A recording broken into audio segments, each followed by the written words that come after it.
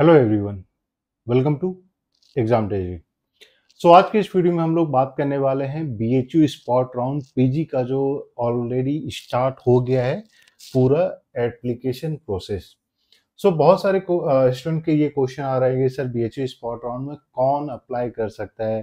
क्या जिन्होंने पहले ही जिनको अलॉटमेंट हो गया था क्या वो दोबारा अप्लाई कर सकते हैं या नहीं कर सकते हैं? तो आज के इस वीडियो में हम लोग सबसे पहले ये सारी चीज़ें देख ले। लेकिन सबसे पहला जो देखना ये है कि जो पीजी कोर्स का जो स्पॉट राउंड है ये फोर्थ ऑफ़ अगस्त तक रात के 12 बजे तक आप अप्लाई कर सकते हैं। यानी कि आप जो पहला चीज़ आपको देखना है कि इसमें सबको अप्लाई करना है। ऑल स्टूडेंट्स जिनको एडमिशन चाहिए, वो अप्लाई करना है। लेकिन यहाँ पे भी क्राइटेरिया है कि कौन अप्लाई कर सकते हैं, कौन अप्लाई नहीं कर सकते जैसे हम लोग ने डीयू के केस में देखा था, बहुत सारे स्टूडेंट ऐसे थे जिन्होंने स्पॉट राउंड के लिए अप्लाई नहीं किया। ये समझ के कि वो तो ऑलरेडी अप्लाई कर चुके हैं रेगुलर फॉर्म फिल कर चुके हैं तो अब उनको दोबारा अप्लाई करने की ज़रूरत नहीं है। लेकिन स्पॉट राउंड में मैं दोबारा बता दूँ कि हर एक कैंडिडेट को रजिस्टर करना पड़ता है सेपरेटली इरिस्पेक्टिव ऑफ़ पहले उन्होंने बीएचयू का फॉर्म फिल किया है या नहीं किया है। सो so, यहाँ पे आप देखिएगा जो बीएचयू का स्पॉट राउंड का वो रूल्स है एडमिशन पीजी एडमिशन के रूल्स है। सो so, सबसे पहला है कि जितने भी कैंडिडेट हैं जो एडमिशन लेने के लिए इंटरेस्टेड है उनको अप्लाई करना है। ठीक है सबसे पहले आपको अप्लाई करना है यहाँ पे जो है अप्लीकेशन के लिए जो है आपको लिंक दिया गया और इसका जो फ़ी है ये नॉन रिफंडेबल फ़ी आपको है वो 500 पर प्रोग्राम आपको जो है पे करना है। तो so, पहला चीज़ मैंने आपको बताया था कि आपने पहले बीएचयू में अप्लाई किया है नहीं किया है उससे फ़र्क नहीं पड़ता है। अगर आप स्पॉट राउंड में अप्लाई करना चाहते हैं अगर आपने कहीं और एडमिशन नहीं लिया है आप प्लान कर रहे हैं बीएचयू के स्पॉट राउंड में एडमिशन लेने का तो आपको जो है अप्लाई सेपरेटली न्यू रजिस्ट्रेशन करना पड़ेगा। बस ये समझ लीजिए न्यू रजिस्ट्रेशन सो कौन कौन एलिजिबल है?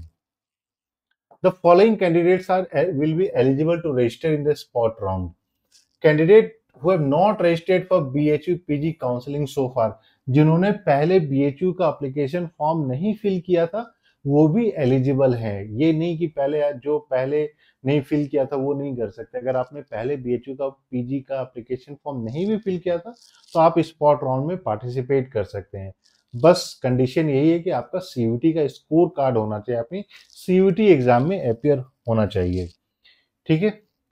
और जिन्होंने पहले ही BHU के पीजी काउंसलिंग प्रोसेस में आप लोगों ने अप्लाई किया था, लेकिन ड्यूरिंग रेगुलर राउंड जो फिफ्थ राउंड तक जो अलॉटमेंट हुआ, अगर आपको कॉलेज अप्लाई नहीं हुआ, कोई सीट अलॉट नहीं हुआ तो आप जो अप्लाई कर सकते हैं।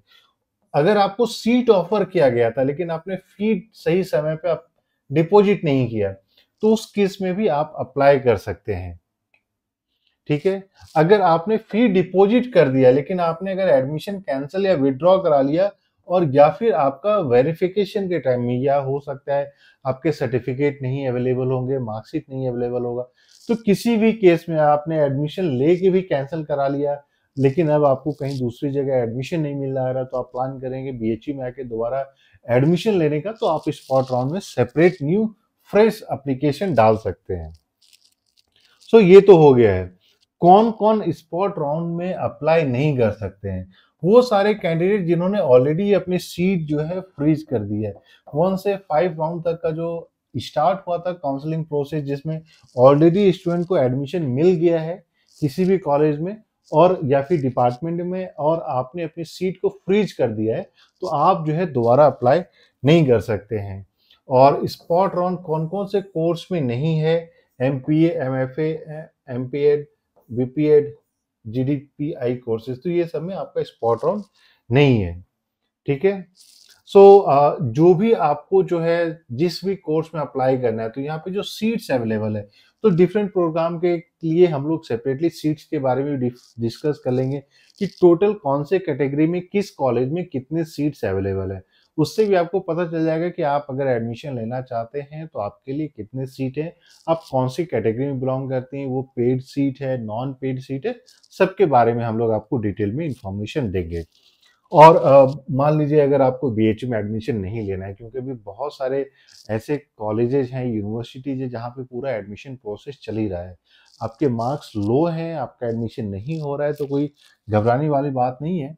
आप eight four four eight eight seven eight eight four nine पे कॉल या मैसेज करके आप सारा डिटेल्स ले सकते हैं कि कहाँ कहाँ पे अभी एडमिशन प्रोसेस चालू है।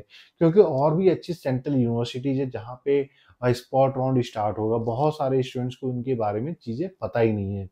सो so, फटाफट आप इस नंबर पे कॉल या मैसेज कर दीजिए और चैनल को भी सब्सक्राइब कर ले नोटिफिकेशन बेल भी दबा लीजिए सो दैट जितने भी इंपॉर्टेंट अपडेट होते हैं वो सारा आपको मिलता रहे। इसके अलावा भी आपके पास कोई क्वेश्चन है क्वेरी है तो आप कॉल या मैसेज करके भी पूछ सकते हैं। So thank you wish you all the very best